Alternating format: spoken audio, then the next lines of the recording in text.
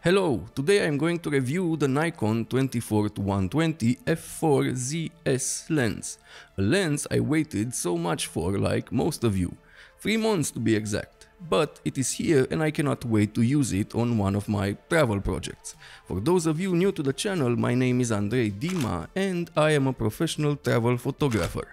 I've been using Nikon for photography for the past 15 years, but never tried a lens like this. I always wanted to, but I was also doing wedding photography and corporate events, and I opted for brighter lenses. Now I want to downsize my travel kit and a lens like this is a godsend. The Nikon 24-120 is a great all-around lens with a lot of features. It doesn't have a zoom lock because this lens doesn't suffer from zoom creep. I walked 4 kilometers while testing the lens and I never had a problem with the barrel extending.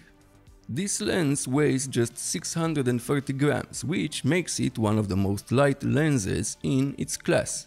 A good start for what might be the perfect traveler's lens. The zoom ring is rubberized and turns smoothly. It has just a bit of stickiness. Video makers are going to enjoy using this lens. It has a 77mm filter thread. On the back of the lens we find a very useful function button that is very nice to use. In the main camera menu you can choose from one of 21 different functions also a focus switch and my favorite thing about this lens, besides the image quality, we get a nice metal customizable ring. I am also a Fuji user and I got used to an aperture ring on my lenses, so that is exactly what I did with this one. I assigned the option to change aperture with it. Well, it comes that way. The ring turns smoothly and it is a joy to use, but you can also change it to adjust exposure compensation, ISO or do nothing. The focusing ring has no hard stops at either end, making it harder to know when you have reached infinity focusing. The ring has enough resistance to make fine adjustments without much effort. The overall build quality of the lens is great, it is made from plastic but it feels like good quality plastic and the mount is made from aluminium that has a rubber gasket around it. Yes, this lens is weather sealed, you can't have a great travel lens without weather sealing. The lens has a nice smooth finish, nice engraved numbers and text. It doesn't disappoint when it comes to build quality. For a lens at this price point, it shouldn't. In my testing for this review, I enjoyed using the lens a lot. I really have nothing negative to say. Oh wait, yeah, the cheap lens hood, but I will let that slide. Some of you will complain about the more plastic build, but I am okay with that because it reduces the weight. This is an idea, they should release two versions of a lens, plastic for people that want a light lens and a metal version for people that want a more premium feel. The image quality for a zoom like this is outstanding in my opinion. The center sharpness is great at all focals starting from f4, but the corners are a bit soft.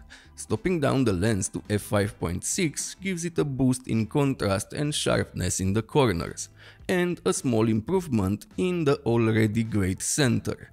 This is maintained all the way from 24 to 120. Stopping down the lens to f8 or 11 improves the corners a bit and the center remains unchanged with great resolution and contrast. Overall, the image quality on this 45.6 megapixel sensor is amazing.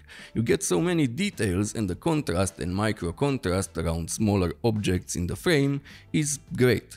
For such a long zoom, the image quality is impressive. It really looks like a new generation of glass from Nikon. You get a bit of vignetting with this lens, but that is easily correctable in camera or in post. The flaring is very well controlled and it has no problem with chromatic aberrations. The minimum focus distance is 35 cm. The autofocus when used for stills is fast and accurate and I had no problem with it. It is also very quiet, which makes it great for video. Speaking about video, this lens is great when it comes to focus breathing. I was expecting more because of the long range, but it has just a bit of focus breathing. The lens doesn't have image stabilization, but in-camera stabilization is enough for most situations when it comes to photo or video, as you can see in these examples here. If you are thinking f4 is not good enough for low light, well, in some cases combined with the IBIS in the camera, you get very nice results in photo and video. Being an f4 and a fairly long zoom lens, it can give you some nice subject separation. The transition between in and out of focus is nice and smooth. The background is, how most people call it these days, creamy and it doesn't get crowded when you have a lot going on in the background. Overall, this is a great do-it-all lens. Travel, landscape, street, and of course video. They really thought about video when they built this lens.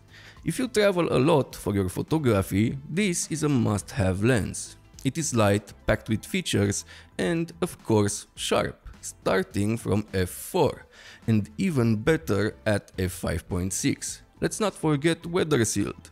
Nikon really did a great job with the recent line of zooms.